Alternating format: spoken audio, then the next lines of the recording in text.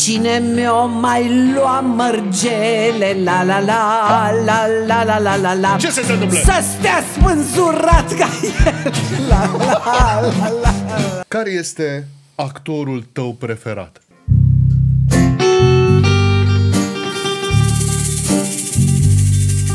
Și acum, în mod normal, trebuie să dau cu paharul ăsta de Ah, Haide, pământ da, uite, trântim sticlele de aqua carpatica, dacă vrei. Tu știi că eu am fost la Academia Titi Aur și că eu am fost supusă la toate testele alea de acolo și le-am trecut cu brie, brio și domnul de la Academie, care este mâna dreapta lui Titi Aur, mi-a zis că eu conduc excepțional și că am un instinct de săvârșit. Bine, sigur că după aia am intrat într-o betonieră. Da.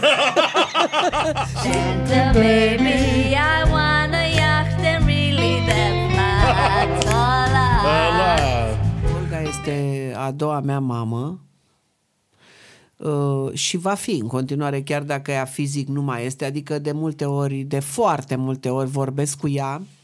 Ai o dedicație pentru ea, nu-i așa? Da!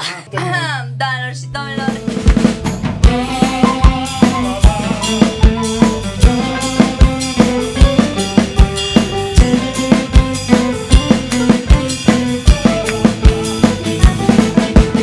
Dar tarantule nu scrie acolo?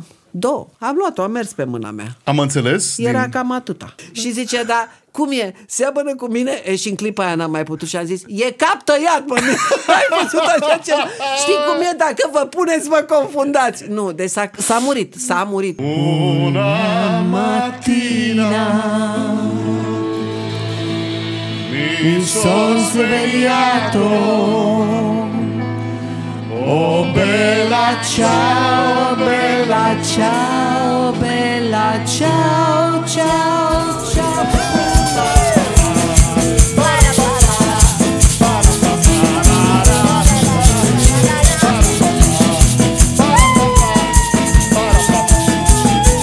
Ți-a, am stricat. Ți-a stricat asta. A Nu ai rupt, stricat-o, a rupt mămică, instrumentul. și